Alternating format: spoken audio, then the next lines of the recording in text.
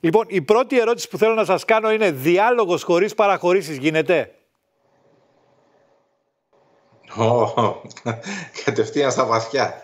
Διάλογος που βάζει παραχωρήσεις. Κοιτάξτε, ε, γίνεται, μπορεί να γίνεται διάλογος ανούσιος, τύπου να είχαμε να λέγαμε, που απλώς κερδίζουν χρόνο για τη συμβαλόμενη ή συμβαλόμενη, ανάλογα δικός του για το, ο καθένας για το δικό του λόγο και σκοπό και μπορεί να υπάρξει και ουσιαστικός διάλογος από μια βασική προϋπόθεση.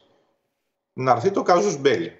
Διότι έχουμε μια παραδοξότητα να απειλεί μια χώρα την άλλη με πόλεμο, ενεργό κάζους μπέλι, και από την άλλη μεριά να μιλάμε ότι θα κάνουμε συμφωνίες και πρωτόκολλα φιλίας. Και όπως είπατε, σωστά κάνετε πολύ ωραία εισαγωγή, ε, διακήρυξη των Αθηνών. Ε, κοιτάξτε τώρα, διακήρυξη. Διακήρυξαμε κάποια επανάσταση, ας πούμε, και χρησιμοποιούμε αυτή τη λέξη.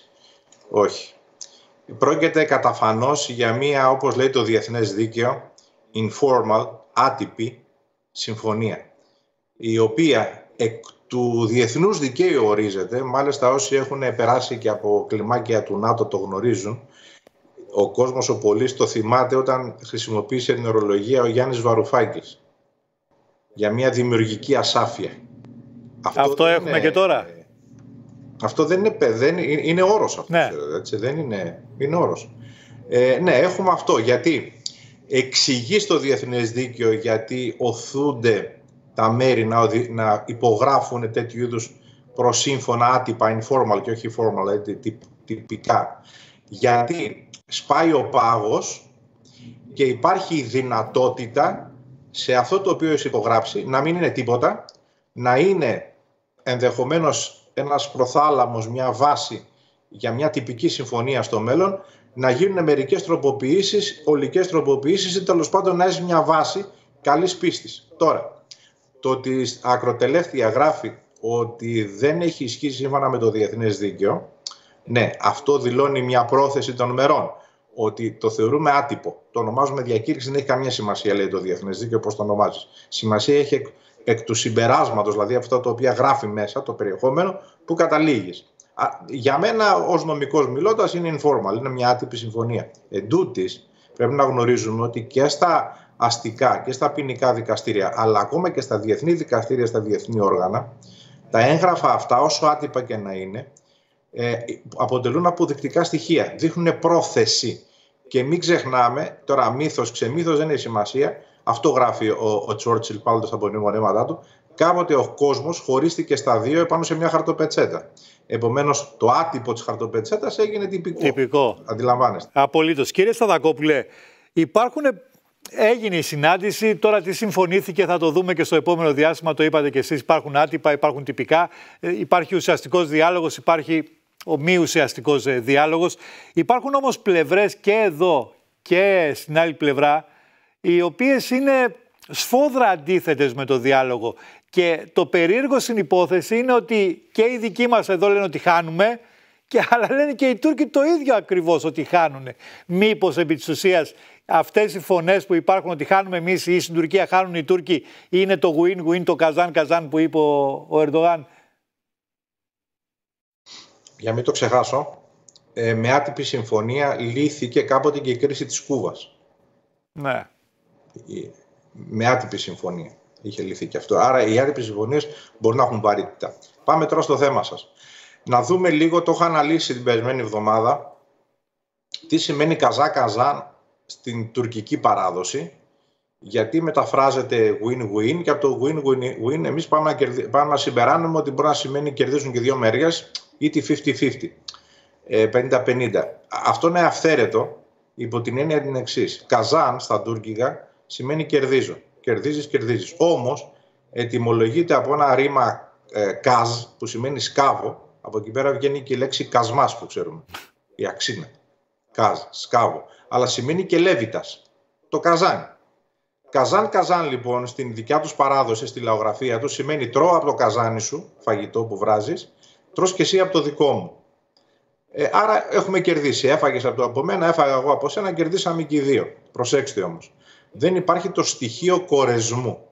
Δηλαδή, αν εγώ δεν πεινάω ή δεν θέλω να φάω από το καζάνι σου, δεν μου αρέσει το φαγητό σου ή δεν πεινάω ή είμαι ισχνός. Έχω μικρό στομάχι και δεν μπορώ να φάω. Και εσύ έχεις μεγάλο στομάχι και μπορεί να φας. Άρα, εγώ θα φάω από το, κουτα... από το καζάνι σου τίποτα ή μια κουταλιά και εσύ θα πάει να το, το δικό μου το καζάνι ολόκληρο. Πάλι καζάν καζάν είναι. Έφαγες από το καζάνι, μου έφαγα από το καζάνι σου. Άρα λοιπόν στη λογική της Τουρκίας, το καζάν καζάνε που δεν είναι win-win, ας λέει ο Τούρκο πρόεδρος win-win, ούτε το win-win σημαίνει κερδίζω, κερδίζω, ότι είναι ισότιμο 50-50. Αυτά είναι ευσεβείς πόθη. Αλλά δεν αντιλαμβάνονται καθόλου έτσι οι Τούρκοι το καζάν καζάν. Το καζάν καζάν είναι εγώ θα φάω όσο μπορώ. Τώρα, αν εσύ δεν πεινάς ή δεν έχεις διεκδικήσεις, δεν με νοιάζει. Και η Ελλάδα έχει δηλώσει παντιοτρόπω στο βάθος των ετών, του χρόνου, ότι δεν διεκδικεί τίποτα από την Τουρκία. Επομένως, αφού δεν διεκδικεί τίποτα από την Τουρκία και η Τουρκία διεκδικεί, ερχόμαστε τώρα να λέμε ότι συνομιλούμε με μια χώρα η οποία είναι ο ιστορικός εχθρός μας ή τα τελευταία 21 χρόνια διοικούμενη από τον Ερντογάν. Δεν πρέπει να ξεχνάμε ότι η Τουρκία δεν είναι μια Τουρκία γενικώ και αορίστω. Έχει, έχει ονοματεπώνυμο. Από το Μάρτιο του 2003, σε λίγο θα κλείσουμε το Μάρτιο του 2024, του 24, θα κλείσουμε 21 χρόνια.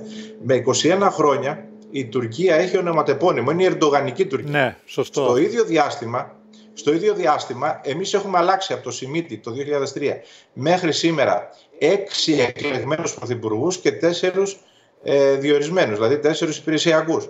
Δέκα συνολικά. Και ρωτώ εγώ τώρα, μπορούμε μετά από 21 χρόνια να λέμε τον Ερντογάν απρόβλεπτο; Δηλαδή, πόσο καιρό θέλουμε για να προβλέψουμε τι αντιδράσει του άλλου. 20, 30, 40, 50 χρόνια; Πόσα; Δηλαδή, πια ε, έχω τρελαθεί με αυτό το απρόβλεπτος Ερντογάν. Και μου λένε βεβαίως, Μα είδατε τι έκανες στον Σόλτς. Ε, που ήταν ξαφνικά. Όχι. Ο Ερντογάν είναι σταθερά αναθεωρητικός επί 21 χρόνια με δύο προσωπία. Προσέξτε, όχι πρόσωπα, προσωπία. Μάσκες. Η μία είναι η ειρηνική, η φιλιρηνική, η φιλική του Ντοστούμ, φίλε Κυριάκος, του Αρκαντασίμ, που σημαίνει καρδιακέ μου φίλε, και ενίοτε του Καρντασίμ, που σημαίνει αδελφέ μου. Και φοράει και ενίοτε το προσωπείο του Νταΐ. Αυτή τη στιγμή παράλληλα φοράει το προσωπείο του Νταΐ στο Ισραήλ, το φόρεσε λίγο στον Σόλτς στην κοινή συνέντευξη και σε εμάς φόρεσε το προσωπείο της φιλίας. Άρα αναμενόμενο. Ξέρετε ποιο είναι απρόβλεπτο. Το να πηγαίνει να συναντήσει τον Σούνακ και να σου λέει όχι. Αυτό είναι απρόβλεπτο. Είναι, είναι, είναι, απο, είναι απολύτως αντιληπτό αυτό που λέτε. Απολύτως αντιληπτό. Όχι ο Ερντογάν απρόβλεπτος. Εδώ όμως είπατε κάτι, είναι όλα αυτά τα χρόνια αναθεωρητή. Πώς μπορείς επομένως να είσαι σε διάλογο με έναν αναθεωρητή; Εδώ πέρα λοιπόν έρχεται το θέμα το εξής, ότι η Ελλάδα ως νοοτροπία, ως πολιτική, επί σειρά δεκαετιών, ε, έχει επιλέξει να είναι στο δυτικό στρατόπεδο καλόπιστη το ευρωπαϊκό κεκτημένο και να ακολουθεί τους κανόνες του διεθνούς δικαίου όπως ακολουθούν όχι οι ισχυροί. Οι ισχυροί έχουν ως πρόφαση το διεθνές δίκαιο αλλά κάνουν εκείνο που τους παίρνει η δύναμή τους. Η Ελλάδα ως μικρή χώρα και πληθυσμιακά και σε έκταση ε, παίζει ένα ρόλο, σαφώς δεν είμαστε ασήμαντοι, αλλά από εκεί και πέρα επικαλείται το διεθνές δίκαιο ακριβώς και τους καλούς τρόπους, ακριβώς για να κερδίζει χρόνο και να μην έχει φθορές και συγκρούσεις. Ε, απέναντί μας όμως έχουμε την Τουρκία, η οποία ε, μας έχει ένα ενεργό κάζους μπέλι και την δικιά μας καλοπιστία επί 21 χρόνια, η Ερντογανική Τουρκία, όπως είπαμε, έχει ονοματεπώνυμο τα τελευταία χρόνια η Τουρκία, τα τελευταία 21 χρόνια, το λαμβάνει ως αδυναμία και θεωρεί ότι μπορεί να μας κοροϊδεύει, να μας δουλεύει. Δηλαδή μια ε, να μας αγριεύει και μια να μας κάνει το φίλο. Και ρωτώ, στα αυτά τα 21 χρόνια, μην χαθούμε στα βάθη της ιστορίας, η Ελλάδα υπήρξε ποτέ αναθεωρητική ή εχθρική κατά της Τουρκίας; Όχι. Η Τουρκία πάντοτε είναι αυτή που ενώ δίνουμε τα χέρια και με φιλία, ξαφνικά παπ, διστροπή και λέει τα χαλάσαμε. Και προσέξτε, μας το ξαναείπε ερχόμενος εδώ πέρα ο Τούρκο Πρόεδρος. Λέει εμείς δεν απειλούμε την Ελλάδα, αν δεν μας απειλήσει. Άρα το κριτήριο για να κριθεί ποιος απειλεί την Τουρκία δεν θα το έχει κάποιος τρίτος, το έχει η ίδια η Τουρκία. Αν η Τουρκία θεωρήσει ότι απειλείται, θα μας πει τα χαλάμε όλα και ξαναπάμε στην κατάσταση άντε με προκάλεσε σε Ελλάδα και θα στραφώ εις βάρος του ή δεν, δεν, δεν τηρούμε τις Κύριε Σταδακόπουλε, κλείνοντας και αν είναι... ασκώντας τα κυριαρχικά μας δικαιώματα. Ναι, κλείνοντας και αν είναι δυνατόν σύντομα η, απάντηση. Πιστεύετε ότι μας εκμεταλλεύεται ο Ερντογάν γιατί έχει βρει κλειστές πόρτες στα οικονομικά φόρα, στην Δύση και προσπαθεί να βρει κερκόποτα μέσω της Ελλάδος για να ανοίξει αυτό, αυτά τα κάστρα τα οποία είναι άπαρτα για αυτόν; Η Ελλάδα κατάφερε επί σειρά ετών από το 2020 να πετύχει κάποια ψηφίσματα κατά της Τουρκίας. Όπως έκθεση Μπορέλ τελευταία, που είναι ναι. κόλαφος.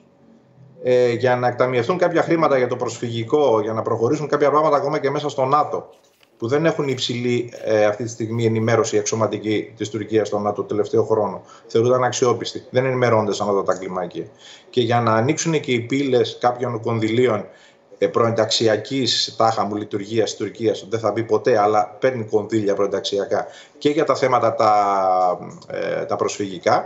Ναι, πράγματι το διαβατήριό της, το κλειδί για να χαλαρώσουν αυτά είναι η Ελλάδα. Γιατί η Ελλάδα έχει ζητήσει να βγει η έκθεση κόλαφο κατά της Τουρκίας και για να ανασταλεί αυτή η έκθεση όλα περνάνε μέσα από την Ελλάδα. Όμως κυρίως μας είπε γιατί το κάνει όλο αυτό ο Τούρκος πρόεδρος όταν γύριζε με το αεροπλάνο του στην Τουρκία. Μας είπε ότι να σταματήσουμε τις αερομαχίες. Δεν οδηγούν πουθενά. Γιατί; Γιατί αυτή τη στιγμή δεν έχει αεροπλάνα αξιόμαχα. Δεν θέλει να καταπονεί τα πληρώματά του και δεν θέλει τα πληρώματά του να χάνουν από τους Έλληνες πιλότους, διότι καταπονείται το ηθικό τους. Όταν θα αποκτήσει καινούργια αεροπλάνα. Θα αρχίσει πάλι το πανηγύρι. Θα... Ακριβώς. Κύριε Σταδακόπουλε, ευχαριστώ πάρα πολύ για την πολύ πάντοτε πολύ ενδιαφέρουσα συνομιλία. Να είστε καλά. καλά. Καλό μεσημέρι.